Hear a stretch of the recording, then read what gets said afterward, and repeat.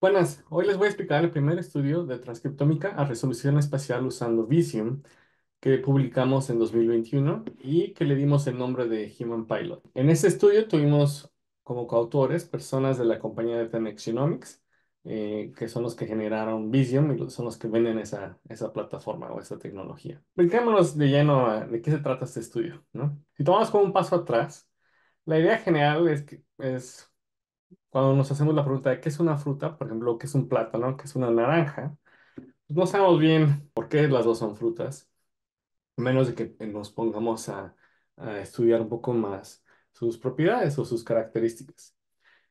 En especial una naranja y un plátano, pues podemos tal vez verlos por afuera, tocarlos, ver qué colores tienen, qué textura tienen, cómo huelen, pero eventualmente tal vez nos da la curiosidad de, cortarlos en rebanadas, ¿no? Entonces, cuando hacemos ese proceso de cortar una fruta en, en rebanadas, ah, lo que estamos haciendo es que nos estamos acercando, eh, es como si estuviéramos eh, magnificando, digamos, y podemos ver diferencias más pequeñas que antes no podíamos ver desde afuera, ¿no?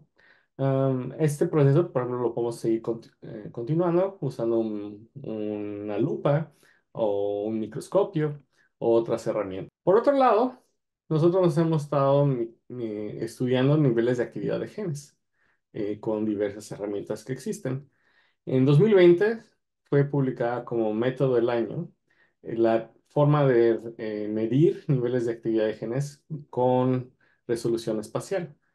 ¿Qué significa esto? Es como esta gráfica aquí de barras de 3D, donde tenemos coordenadas en un plano X y Y eh, sobre el cual podemos medir los niveles de actividad. Por ejemplo, el gen 1, que digamos en este cuadrito tiene un nivel de 5, en este otro tiene un nivel más bajo, en este otro tiene aquí un nivel como de 20, etcétera, ¿no?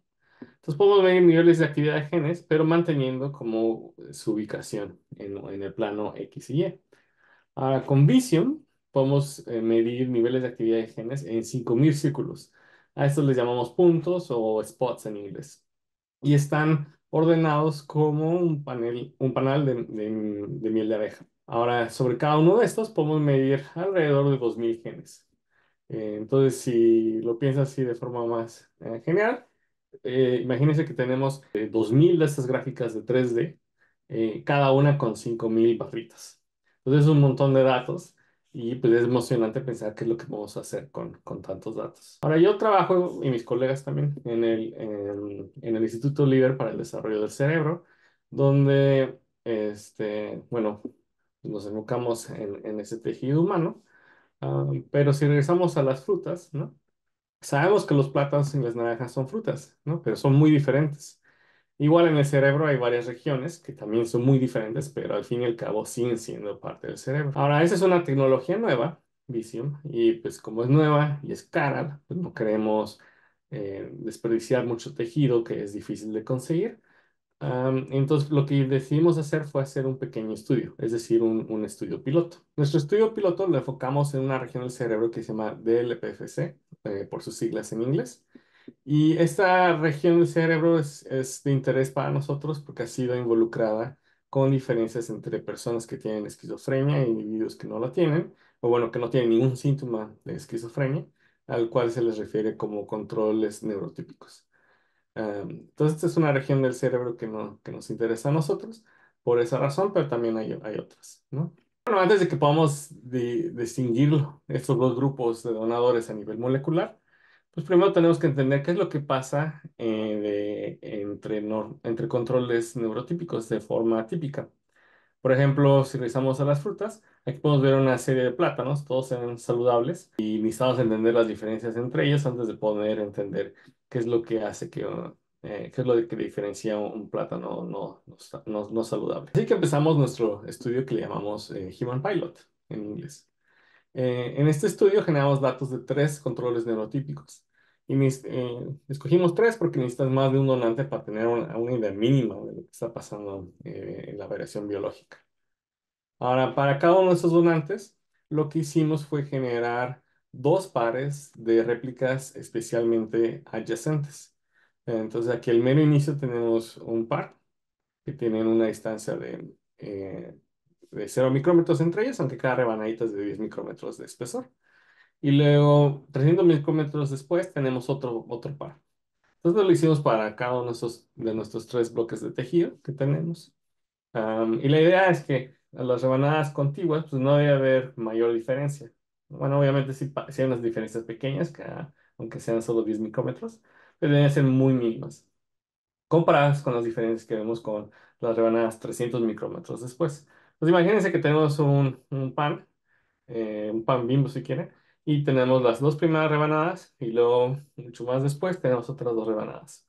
Entonces es el, el diseño de nuestro estudio. lo que podemos ver luego son los niveles de actividad de algunos genes, incluyendo genes que ya se conocen su función. Por ejemplo, aquí estamos viendo SNAP25, que es un gen marcador de neuronas, que tiene mayor actividad de neuronas, y MVP, que no está tan activo en neuronas. y básicamente eh, fue muy emocionante ver que si juntas las dos, tienes como un patrón de yin y yang, ¿no? Donde se complementan muy bien.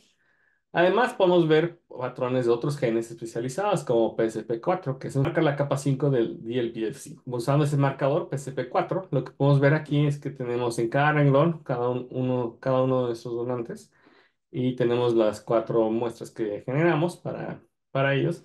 Podemos ver que este gen pues, tiene un patrón muy similar aquí y acá. Y mucho más adelante, 300 micrómetros después, también tiene un patrón similar aquí y acá. Entonces lo podemos ver de forma consistente en cada uno de estos renglones. ¿no? Pues nos da cierto nivel de confianza de que sí podemos este, usar esta tecnología. Entonces ya confiando en la tecnología, pues nos podemos eh, poner a trabajar. ¿no? Ahora, eh, una de las cosas que hicimos en mero inicio fue visualizar genes que ya se habían identificado como marcadores de diferentes capas del cerebro. Más que algunos de esos genes se habían identificado con otros organismos, por ejemplo con ratón, y aunque algunos se hayan visto antes en humano, Visium tiene como ciertas limitaciones, ¿no? Que no más podemos ver 2.000 genes, mientras otras tecnologías puedes ver entre 20.000 y 30.000. Pero esas otras tecnologías luego pierdes el contexto espacial. Entonces, como con cualquier nueva tecnología, pues el, está el, reto de, de, poder visualizar los datos. Así que desarrollamos una herramienta que le llamamos Spatial IVD eh, para poder visualizar los datos y hacer como una serie de análisis estadísticos. Entonces, el primer paso fue eh, anotar o asignar, básicamente, eh, cada uno de esos 47 mil puntos a uno de cada una de siete categorías. Tenemos, eh, estas son eh, las seis capas de materia gris o la materia blanca. Entonces eso es un montón de trabajo, ¿no? Eh, checar cada puntito y asignarlo a, una categoría. tomó un montón de, tiempo y de, esfuerzo. Imagínate tener que etiquetar tantas frutas, pues es probable que cometas algunos errores. Hay algunas personas que le llaman a nuestra anotación manual la verdad fundamental, pero bueno, nosotros sabemos que, que no lo es realmente. Ahora ya teniendo esa anotación manual, podemos colapsar los datos y hacer una serie de análisis. Por ejemplo, podemos usar el análisis de componentes principales, donde aquí podemos ver en el componente principal 1, que explica el 34% de los cambios o de variación. Como tenemos del lado izquierdo los puntitos negros, que son los de WM o capa eh, blanca. Y en el eje Y, el, eh, en el segundo componente principal, Empezamos con rosita, azul, verde, morado, amarillo y naranja, que son las capas 1, 2, 3, 4, 5 y 6. Van en orden, ¿no? De la materia gris. Entonces fue muy padre de, ver y no era nada que no se conociera, ¿no? Ya se sabía que había una diferencia enorme entre la materia gris y la materia blanca y que las capas de la materia gris están ordenadas, eh, en, bueno, tienen diferencias que son eh, secuenciales, ¿no? Entonces, todo eso ya lo, lo podemos recapitular. Y es emocionante poder ver esto con una tecnología nueva, ¿no? Siempre poder reproducir resultados anteriores eh, es, este, te da cierto nivel de confianza de que vas por buen camino. Ah, pero eso no fue todo lo que hicimos, ¿no? Lo que también podemos hacer es, ahora ya teniendo todas estas eh, capas marcadas, podemos encontrar nuevos genes marcadores. Por ejemplo, aquí tenemos a CUP4, que es un gen marcador para la capa 1, y es un gen marcado para esa capa porque tiene como mayor nivel de expresión en esa capa que en capa 2 o 3, ¿no? Entonces puedes ver fácilmente la diferencia. Em, y eso, bueno, el que sea un gen marcador no significa que tenga un nivel de expresión de cero en las demás capas, ¿no? Este, por ejemplo, aquí en la, en la capa WM también se expresa ese gen, ¿no? Um, bueno, también está activo ese gen. Entonces, encontramos una serie de nuevos marcadores y pudimos hacer una serie de experimentos para, para validar esos resultados. Por ejemplo, aquí vemos más puntitos eh, rojos de AQP4 en lo que es la capa 1, en otras capas. ¿no? Habiendo hecho todo este trabajo, ahora nos podemos preguntar cómo este estudio de Human Pilot nos puede ayudar para entender más eh, otros trastornos cerebrales, cómo nos ayuda a entenderlos. Em, entonces, si se acuerdan, pues solo tenemos datos de tres donantes. Eso no es suficiente para poder decir, ok, las diferencias globales entre los controles neurotípicos y las personas que tienen algún trastorno cerebral son estas. No, eso no, para eso no sirve, pero sí podemos usar nuestro estudio para preguntarnos si hay un sobrelape significativo entre los genes marcadores de las capas del VLPFC y los genes que ya se han encontrado previamente asociados a, algunos trastornos cerebrales. Aquí tenemos el ejemplo del trastorno de espectro autista o ASD en inglés, y donde podemos ver aquí en las primeras dos columnas dos estudios, Safari ASC 102, donde vemos que coinciden en que eh, los genes asociados a ASD tienen una asociación también con los genes marcadores de la capa 5 o de la capa 2. Pero en particular el de ASC102 se puede dividir en dos sets de genes, el uno de 53 y otro de 49, donde podemos ver ahora que el de 53 está ligado a la capa 5 y el de 49 a la capa 2. Entonces esto de cierta forma nos puede ayudar a localizar dónde están activos eh, los diferentes genes que se han encontrado como asociados a algunos trastornos cerebrales. Em, entonces esto es como muy emocionante que eh, con un set de datos tan pequeño como el nuestro, se pueden encontrar este tipo de resultados. Y eso te va a poder, eh, esta tecnología se va a poder usar para responder preguntas similares con otras enfermedades, otros trastornos, otros grupos de interés biológico. Bueno, esto no iba, sabíamos que esto no iba a ser el final, ¿no? Porque eh, nosotros queríamos hacer más estudios con esta misma tecnología y sabíamos que otras personas iban a estar interesadas en, en esta misma tecnología, ¿no? Ahora, como no es nuestra primera vez siendo testigos de una nueva tecnología, sabemos que cada una tiene sus imperfecciones, sesgos, sus eh, fuentes de ruido, eh, pero en particular, a lo que queríamos ayudar nosotros era en el proceso de la, de la anotación manual de los puntos de visión. Es un montón de trabajo y no lo queríamos repetir de ser posible en, en futuros estudios. Entonces, si no quieres hacer anotación manual, lo que necesitas es un método computacional que te agrupe los puntos. Eh, esto se llama clustering en inglés. en particular estamos hablando de, spot level clustering o agrupación de los, de los diferentes puntos de visión. Entonces probamos diferentes métodos y si los ves, los resultados, pues todas las grafiquitas se ven bonitas, ¿no? Bonitos colores. A veces a ojo pelón podemos decir, mira, esta tal vez no está tan buena, estas otras dos como que sí están más decentes, pero es muy difícil comparar los resultados de clustering de forma visual em, y decir mm, así a ciencia cierta, estos son, este método funcionó mejor. Entonces, para hacerlo de forma más eh, sistemática, usamos una medida que se conoce como el índice de RAN ajustado. Ese índice nos dice qué tan similar están, eh, están los diferentes resultados contra la, contra la manual y queremos valores más altos, ¿no? Eh, entonces aquí hicimos una serie de cosas que resultaron clave, ¿no? Primero hicimos nuestros datos públicos.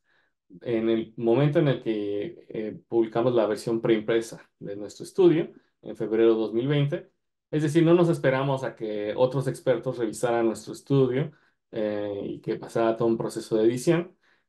ese proceso toma bastante tiempo, en este caso tomó casi un año. Luego también hicimos fácil el proceso de accesar nuestros datos y los compartimos en un formato computacional que es fácil de usar. Em, el formato específico se llama Single Cell Experiment, pero hoy en día se llama Special Experiment. Y aquí está la, la función con la cual pueden descargar los datos. Y por último, mostramos cómo usar este índice de RAND ajustado para poder comparar los resultados de clustering contra nuestra anotación manual. Entonces, hoy en día este, es común ver en otros estudios gráficas de este estilo donde muestran sus resultados de sus métodos de agrupación eh, y donde usan el Adjusted Rand Index eh, o índice de, eh, ajustado de RAND para comparar sus, los resultados de su método contra la anotación manual. Aquí en este caso está el de BaseSpace, que fue este, que salió público el 5 de septiembre de 2020, un par de meses después de, nuestro propio estudio, y donde podemos ver que aquí que BaseSpace tiene el valor más alto, ¿no? entonces, eso nos, eh, nos ayuda también a nosotros, porque entonces ya sabemos qué métodos podemos usar a futuro con nuestros uh, futuros sets de datos, de tal forma que no, eh, eh, nos podremos ahorrar ese paso de, de, anotación manual. Y como paréntesis, pues aquí podemos resaltar lo, lo útil que es compartir tus datos um, al mero inicio, ¿no? no te esperes todo el tiempo que toma el proceso de, de revisión de pares, ¿no? por ejemplo, aquí nos, nos ahorramos, digamos, una diferencia de como 150 días o, más, depende cómo lo quieras medir. Este, en fin, ¿qué siguió después de nuestro estudio? Pues la gente nos preguntó, ok, ese estudio está bien, pero ¿qué podría pasar si tuviera más datos, no? ¿O qué pasa si, eh, si checan em, las diferencias entre subregiones del, del DLPFC, ¿no? La, porción anterior, eh, mediana, posterior, etcétera. Entonces, eh, justamente hoy salió un estudio nuevo de nosotros, donde tenemos datos de 10 controles neurotípicos y donde para cada uno de esos controles eh, generamos datos en, en, la, en el DLP-FC anterior, eh, mediana y posterior. ¿no? entonces, este estudio le llamamos Special DLPFC y en algún futuro lo voy a explicar también. Pero mientras pueden leer este, esta entrada de blog que escribió Luis Hookie Myers, y bueno, solo está disponible en inglés. Muy bien, entonces con a este punto, pues ojalá puedan entender el origen de imágenes como estas, ¿no? Que tal vez ah, hayan visto en, algunos otros artículos, donde cada vez que vean imágenes que tengan estos patrones como de olas, ¿no? ahora ya saben de dónde vienen, de dónde vienen los datos, ¿no? De nuestro estudio de, de Human Pilot. Si quieren más, aquí está la liga a un video que hicieron Cintia Soto y Diana González Padilla, que son miembros de mi equipo, este, pero que no fueron, no estuvieron involucradas en, este estudio y que les pueden proveer una perspectiva más fresca de, lo que hicimos.